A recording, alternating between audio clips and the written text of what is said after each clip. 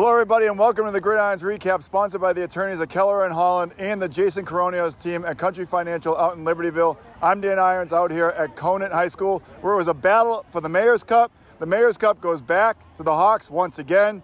Complete, utter domination on both sides of the ball tonight. 28 0 is your final. I'm here with Jonathan Mayfield, and I'm here with Nathan Cleveland. Nathan Cleveland, three touchdown passes tonight. Uh, Nathan, just talk about keeping the Mayor's Cup and moving to 4 and 2 man, just trying to keep the Mayor's Cup at home. Um, no, it's a fight every year, no matter how good either team is, it's always a fight. And we just came out strong, and defense held their own. Speaking of that defense, Jonathan, last week, Palatine ruined your homecoming, 49 points. Yeah.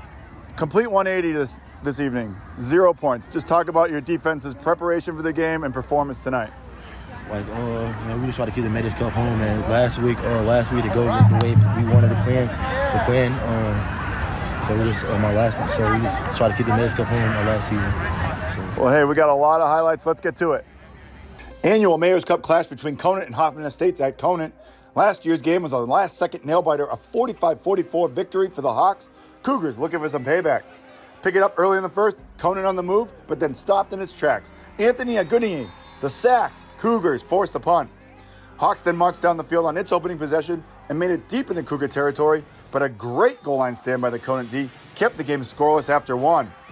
Just four seconds into the second stanza, Hoffman Estates draws first blood when Nathan Cleveland hits speedster Matt Lawson for a 23 yard strike on fourth and three, 7 0 visitors.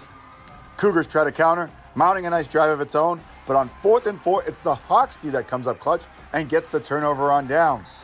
They would capitalize on the momentum moments later when Cleveland hits Stefan Sellers on a 66 yard bomb that just sucks the air out of the crowd. 14 0 Hawks midway through the period. A little under three to go now. Hawks D cranking on all cylinders still. Jamie Wisdom snags the pick, and Hoffman is set up in scoring position. Quincy Williams then punches it in from one yard out, and the Hoffman lead balloons to 21 0 just before break.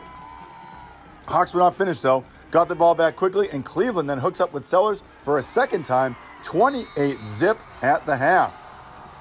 Hoffman received the second half kickoff, so the Cougars needed a big spark on defense, and they got it. Just 20 seconds into the third, Caleb Christudis with the INT, and Conant was in business.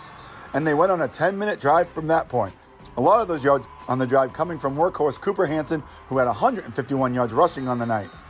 Cougars appear to have put points on the board with this Matt Mays TD toss. However, a penalty nullified the play. Conant could not convert on the ensuing play, and from there, the Hawks salted away the clock. 28 0 your final. Hawks now 4 and 2.